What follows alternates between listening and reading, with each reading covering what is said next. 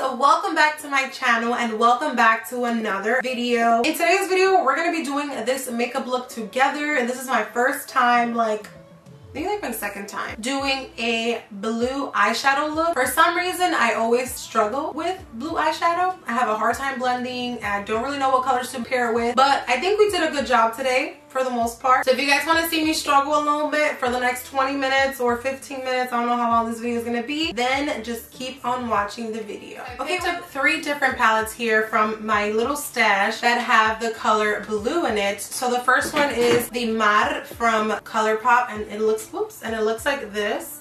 Let me just open it for you guys. This is what it looks like and it has a really nice blue shades. I feel like I can play with them and they also have some warm tone colors as well so I think I can mix this up. I also have the Zodiac palette from ColourPop as well and this was the Kathleen's X ColourPop collaboration. So I have that one here and there's like two blue shadows-ish in there as well. I think I can kind of play around with those. And then I also have the Urban Decay On The Run palette which just has one blue shade but it also has has a lot of like warm tone colors. So I feel like those are wearable colors that I can start with. I don't know which colors I'm going to use. I have no idea what I'm going to do. I do know that I'm going to start with like a warm crease because I think that's just like the easiest and safest place to start. I'm going to be taking my Tarte Shape, Tarte Shape Tape Concealer in this shade Medium and I'm just going to go ahead and cancel out these dark circles because your girl's dark circles are no joke. So I always like to go with concealer because I feel like it just gives me the best coverage. So that's why you guys always see me just canceling out my dark circles with some type of concealer in my videos. It just works for me and then I just pretty much set it with setting powder once I'm done so that I don't have creases and I feel like that just helps me blend out my shadows much better as opposed to just going right in with shadow. For me that just doesn't work. I have a harder time blending that way so that's why I always set my concealer with setting powder. The setting powder I'm going to be using today is from e.l.f. and it's the Shield Beauty setting powder and I'm just going to put that all over my eye just to set the concealer. Now I always like to do my eyeshadow first just because in case I mess up I can just wipe it off without having to do my whole face all over again. And since eyeshadow is not my expertise and I'm still learning how to do it I'm definitely not confident enough to do my base first and then do eyeshadow for last because 9 times out of 10 I, I usually wipe off my eyeshadow because I'm still learning. And if it doesn't come out the way I like it to then it's coming off. So that's why I always do my eyeshadow first. All right, I think I'm gonna go in with the Mod one from ColourPop. I think I'm gonna go with this color first right here. It's called Boozy. And I'm just gonna put that all over my lid first just to create a transitioning shade. I also like that this palette has a mirror. It just makes my life so much more easier. So I can actually stay in the frame because when I'm doing my eyeshadow, I'm always eating the mirror. That's how close I am because I wanna make sure that I'm blending everything. I'm using a Morphe M518 brush just to blend this out. This is like my favorite blending brush because it just works so easily. It's definitely messed up and old. You guys can see the crease that I have here. That's how you know I've been using it for like, but it's my favorite blending brush because it just helps me blend everything out seamlessly. I think I'm going to build that color up a lot just because I really do want to get the pigmentation of the actual shade. I want it to be able to show and if I do it, if I use it lightly, I feel like it's not really going to show. What I'm thinking is I can use this as like a transitioning shade and then put this, maybe I can use this as a transi transitioning shade and then put this on top of the lid. But I also want to use this green color. So, oh man, I'm a little nervous. Okay, so let's try, I mean, with this blue match, it's not going to be very similar. I don't know. Ooh, I'm nervous. Okay, okay, okay, let's see. Um, Let me get a brush, a smaller brush. This is a Sigma Define Crease Brush E38. And I'm going to just tap it lightly just because I don't know how pigmented this is going to be. And I'm just going to focus on the crease. Oh god, I'm nervous. I've tried playing with blue so many times, you guys, and it just does not work. I am nervous. I don't know how this is going to come out.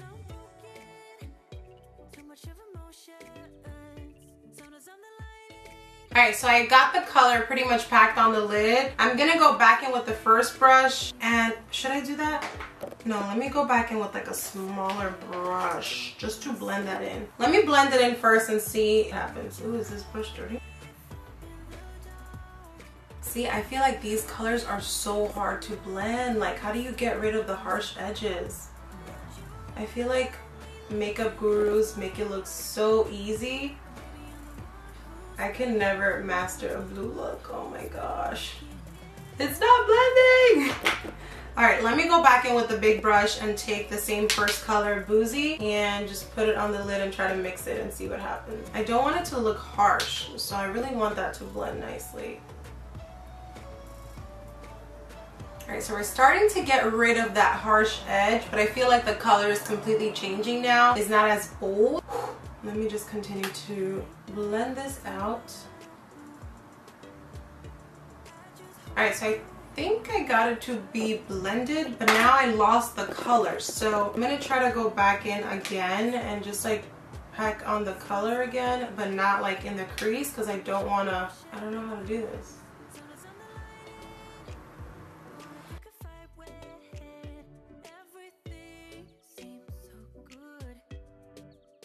Alright, so here we are. I tried to blend it in as much as I can. I feel like it looks so crazy on camera, but I think it's to look crazy before it looks pretty. So here we are, and this is what we're working with. I'm to go ahead and go in with this teal shade right here, which is called Gridlock. And I'm just to put that on my lid. I should probably cover the entire eye with that blue first so that it looks even throughout the whole eye. Hold on. Okay, not terrible. I think I can clean it up once like I get a visual of the eye. It's not bad. So I'm to take a flat brush. Let me find one. So I'm to take this color. It's on my finger now. Oh, that's so pretty. Look how pretty that is. I feel like on camera it's coming out more blue than it actually is in person. In person is more teal.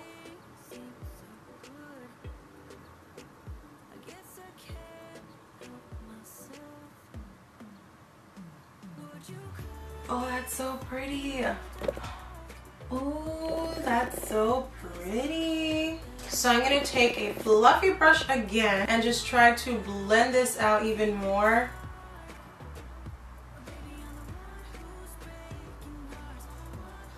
I don't want to pick up more blue because I feel like it could get messy really easily. So I'm going to try to just work with the blue that's already on my lid to try to just like even that out. And I also want to keep the eyeshadow pretty low because sometimes I tend to get carried away and then, then I kind of have to like recarve out my brow because the eyeshadow kind of goes too up high. So I'm trying to learn how to keep my eyeshadow low and not too too high. This is why I do my eyeshadow first because I'm messy when it comes to doing my eyeshadow. So so far I think it looks okay. It's kind of hard to tell because I don't have my base and everything is not done. I'm debating on doing a wing.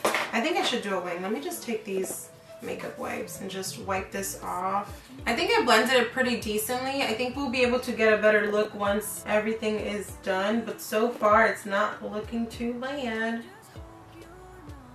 this look, I feel like a wing liner will definitely clean everything up and make it look better. I'm going to be taking my e.l.f. tapes and I'm just going to put them under my eyes so that I can do my wing liner. I still can't really do my liner on my own. I feel like I always need some help with some tape just because it makes everything so much easier. So I'm just going to put it on it. Okay, so I forgot to mention, but I did end up taking some of that green shade, which is called My Way and I kind of just added some towards the outer and on top. I'm actually going to put a little bit more because I kind of like how that looks. I'm just going to pick up a little bit more of that green and put it towards the end so it looks like a little ombre.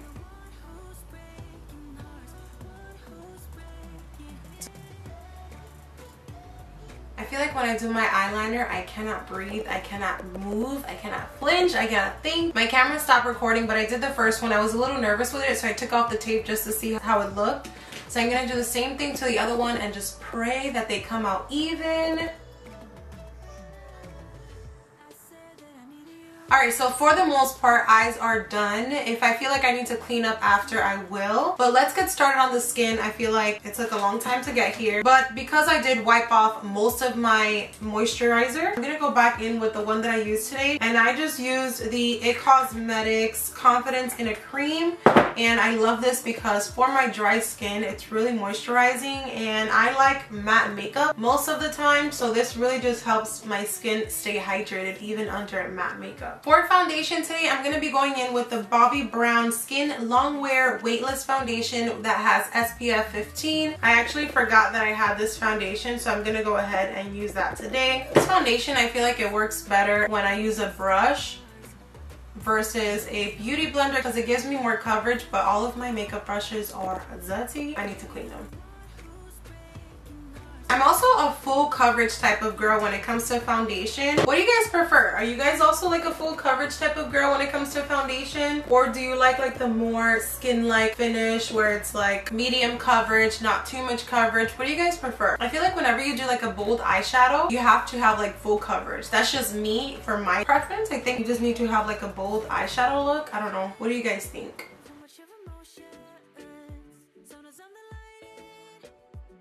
I love cleaning up my brows um, with foundation, like the top part of it, just so that it looks more snatched, you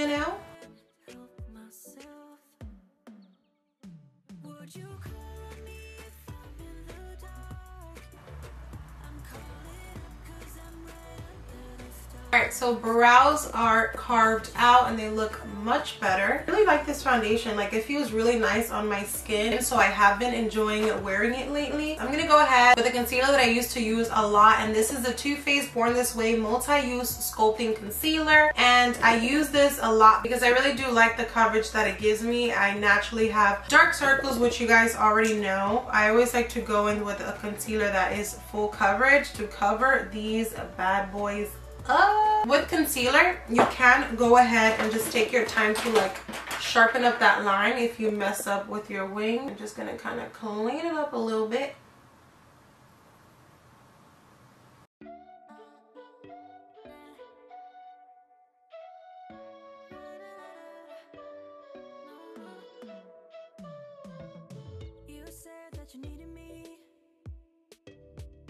Probably the worst part, like getting into these corners without like messing up the eyeshadow.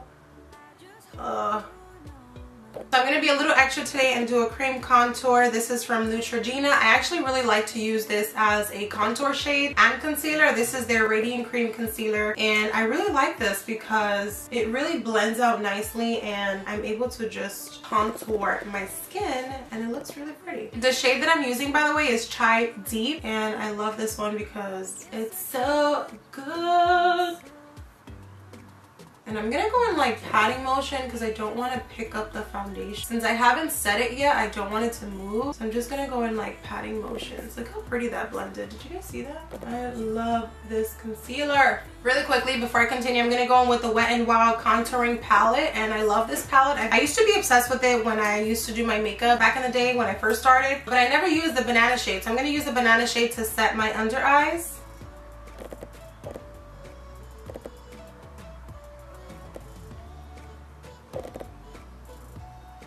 The sucky part about being in quarantine is that we didn't get to have a honeymoon and that sucks. And I know it's not that serious. Like we're gonna have a lifetime together which is why it's like not really the end of the world for us because you know this this is serious. Like we're legitimately in a pandemic and people are legitimately dying. And that's obviously more serious than just going on a honeymoon. But you know it's just like oh, I really wanted to go on a honeymoon. We also had planned to do like a wedding reception like a not a wedding reception. It was more like a intimate dinner with our friends and family. That was gonna be happening March 28th that got canceled because of coronavirus. Sometimes sometimes we have plans and God is just like, yeah, that's cute that that's what you're planning, but that's just not gonna happen. So we're all in this together, honestly. All of our situations look different, but we're all in this together. Some people cancel their weddings, some people cancel baby showers, some people can't have proper funerals. Like, it's crazy. I don't really talk about my personal life on social media when it comes to that because I like to keep the fine line between personal and like being limited uh, how can i explain this? I do like to keep a fine line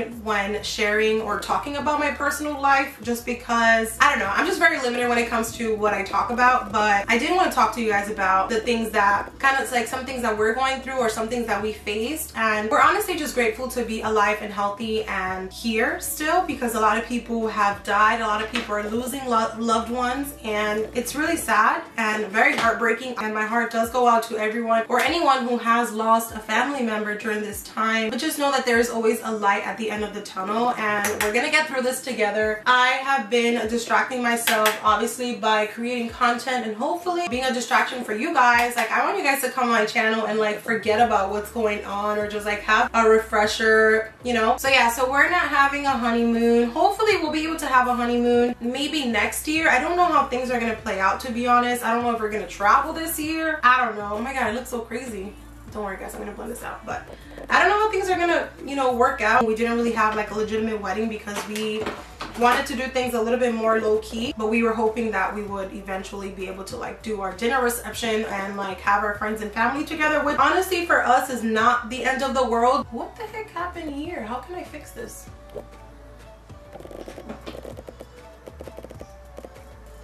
Ah, i hope i didn't mess this up maybe if i do like a bronzer I suck at talking and doing my makeup at the same time because then I mess up I don't know how I feel about this contour. I feel like I need something a little bit more cool tone. Feeling good. Like I should. I'm gonna go with my Fenty just to give me some cool tone in here because I feel like I went with like a bronzy concealer and then I went with a bronzy bronzer. So I'm trying to like fix this a little bit. I tried to blend this out because I feel like it wasn't coming out the way I wanted it to. It was looking a little wheel. So I think I fixed it. Now let's go on. Before doing highlight, I'm going to do my under eye and I've been dying to dive in more into this green. So I think I'm just going to do green all over the under eye and then maybe kind of blend in some blue. Let me see what I can do.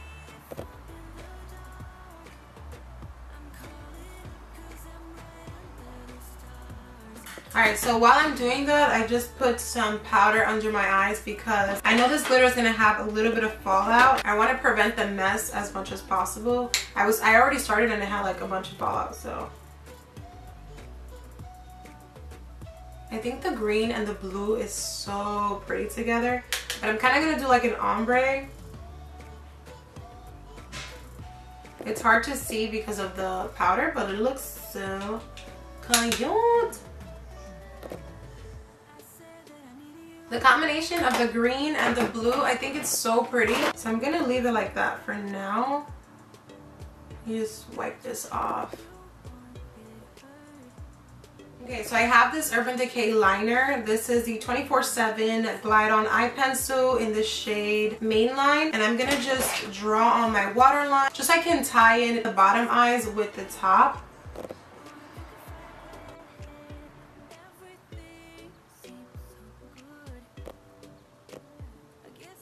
That's so pretty. Okay, let me go in with the L'Oreal Lash Paradise Mascara just to do these bottom lashes because they looking a little bit like a rotten now. Sorry guys, I have to be like so close to the mirror.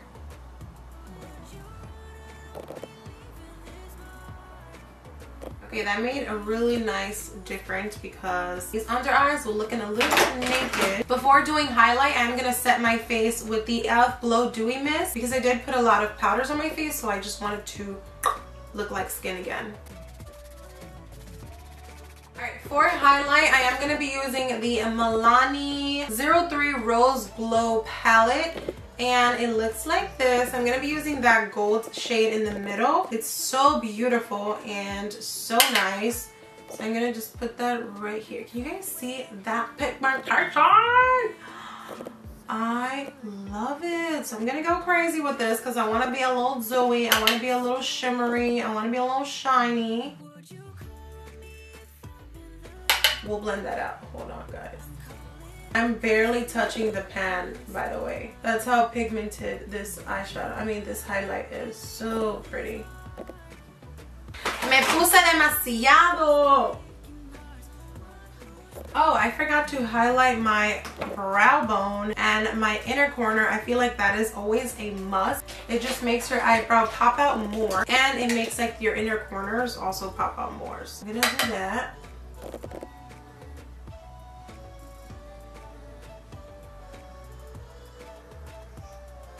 All right, now it's time for lips. I'm gonna keep it simple. I'm gonna keep it nude just because the eyes are already super bold and I don't want to throw in another color in there. So, so I'm gonna go in with Cork from MAC just to outline my lips.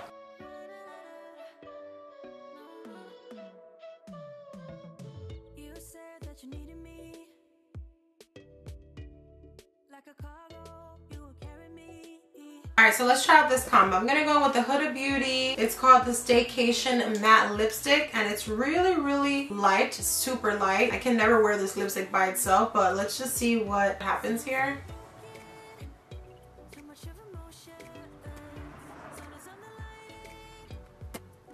We got a nude lip, but it's a little too nude for my liking. So I'm gonna go with the Fenty lip gloss, and this is the Fenty Glow. And this does have a color to it, so maybe it can just bring my lips. Maybe it could just like bring back my lips.